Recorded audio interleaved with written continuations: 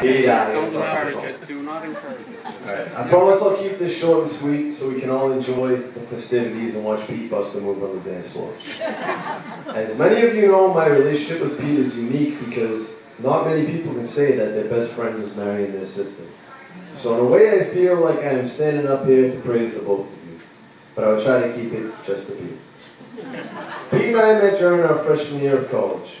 At first I'd say we were definitely two different personalities, but as time progressed, other than me being a sports junkie and Pete being obsessed with video games and Teenage Mutant Ninja Turtles, we realized we were actually very much the same. After both of us decided we were not too much into the on-campus lifestyle at Wentworth, the two of us moved to an off-campus apartment in Roxbury with a motley crew of scholars. That's when Kara arrived on the scene. At this point, she was a senior in high school and would make routine visits to our humble abode whenever we threw a party. This wasn't really odd to me due to the fact that her and I had always been best friends and very close. But as time progressed and went on, I started noticing that when Kara would show up with a friend or two, they would always mysteriously end up sleeping in Pete's room. now at this point, I honestly didn't know if he was just being nice because I knew he was a good kid or if there was an alternative motive and if so, was Josh going to have to be the big brother and lay the smackdown? so I decided to back off and do my best to stay out of it.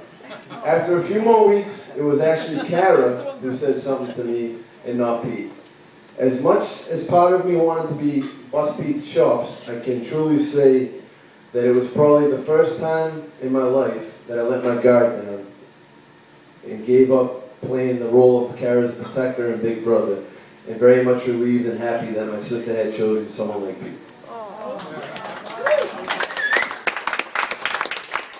Really, there's no need for a kiss. Over the next few years, the three of us lived together off and on, and it was during this period of time that Pete basically went from being my friend to becoming my brother. I honestly wish I could stand up here, tear Peter apart, embarrass him, or say something funny, but I can't.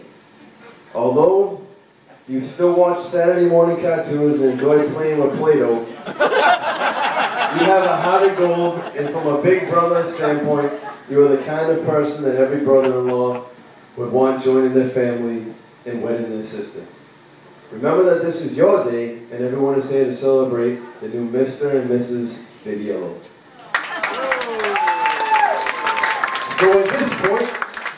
like everybody to raise their glasses for a good luck and congratulations to the newly married couple. Cheers.